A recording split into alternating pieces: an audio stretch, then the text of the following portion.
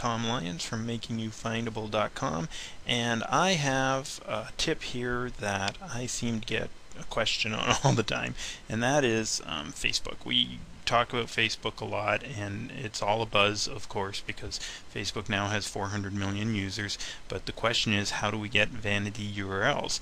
And a vanity URL is, um, if you use Twitter, you, you already have one. It's something like www.twitter.com slash Tom Lyons would be a vanity URL. Um, but in Facebook, we historically haven't had that. In fact, they, they introduced it uh, not that long ago and most people still don't even understand how they're supposed to be able to get it. So I'm going to assume you already have a Facebook account and that you are um, able to log in, which I am going to do right here. Boom. Um, so we're going to log in here and you're going to see my account, which is great. Um, see all the fun things that my friends are saying. And if you notice, we're not seeing any details here about what my um, vanity URL would be. But if I go to See, see what I've changed here to www.facebook.com slash username and I hit enter.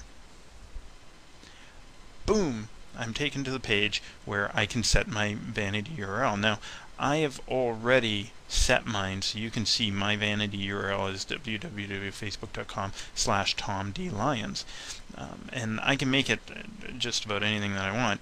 Um, now that it's set I can't change it. So think really carefully about what you make your vanity URL to be because you're not going to get an option to change it later.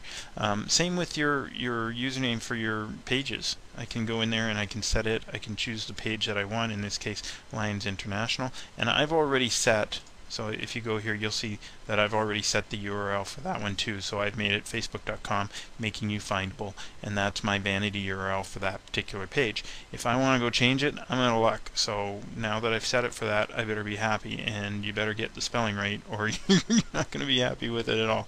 So keep that in mind.